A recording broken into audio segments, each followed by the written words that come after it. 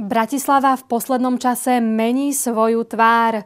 Okrem rekonštrukcií ciest sa na rad dostávajú aj verejné priestranstvá. Na teraz mesto v spolupráci s nákupným centrom zrevitalizovalo promenádu pri Dunaji.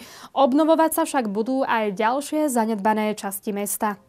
Bratislavčania majú vynovenú promenádu a mesto nestála ani euro. Zrevitalizovali ju vlastník nedalekého nákupného centra. Je to priestor, ktorý bol opäť dlhodobo veľmi zanedbaný. Pamätáte si, aký ten chodník bol rozpadnutý, špinavý, také ako nevábne toto vyzeralo, pričom ide o jeden z najkrajších priestorov, lebo je to Dunajské nábrežie.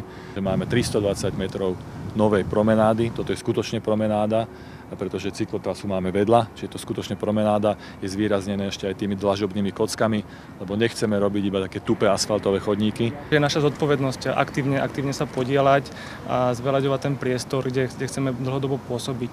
Keďže naša spoločnosť je developerom, investorom a zároveň aj prevádzkovateľom, prevádzkovateľom svojich aktív, kladieme veľký dôraz na udržateľný rozvoj, na kvalitu životného prostredia. Na Petržalskom nábreží pribudli nové lavičky so zábranami proti prespávaniu bezdomovcov smetnej koše a chodník dostal nový povrch. Práce prebiehali v lete a teraz už e, pred, e, vlastne sú prázdniny a chceme tú promenádu odostať Bratislavčanom.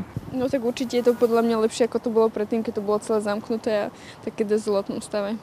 My jsme tady dneska poprvé, my jsme z Čech, jo, jo, turisti, takže nám se tu líbí, jako, ale nezna, neznali jsme to předtím. No. Teď je to dobrý, teď se nám to určitě líbí. Mesto má záujem zrevitalizovať aj ďalšiu časť promenády od nedalekej reštaurácie po primeskej pláži až po bývalý Luna Park, teda parkovisko pod Starým mostom.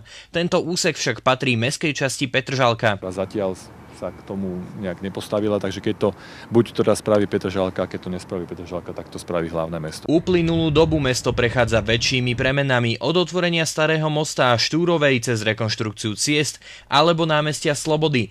Na jeseň by sa malo začať s rekonštrukciou Trnavského mýta. Martin Chlebovec, Západoslovenská televízia.